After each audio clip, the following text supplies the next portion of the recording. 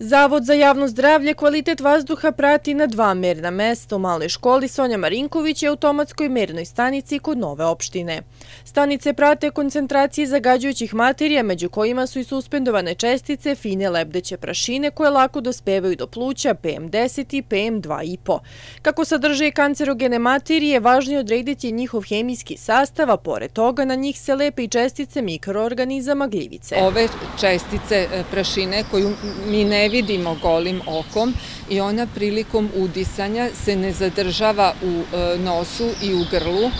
nego što su čestice sitnije, e, time one dublje prodiru u naš organizam, tako da dospevaju do pluća, a one najsitnije i do krvotoka, tako da one, na, a s obzirom da su složenog hemijskog sastava, E, i da, ima i, da sadrže i kancerogene materije, tako one utiču na naše zdravlje, tako da prvenstveno utiču na e, doprinose pojavi e,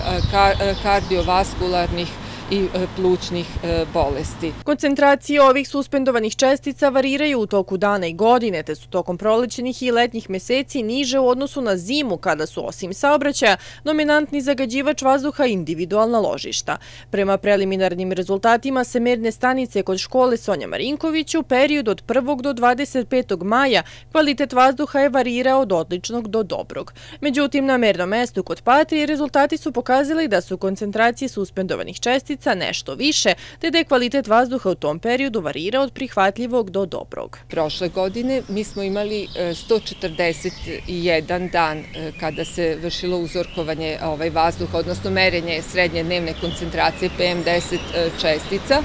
i mogu da zaključim da je ove godine bilo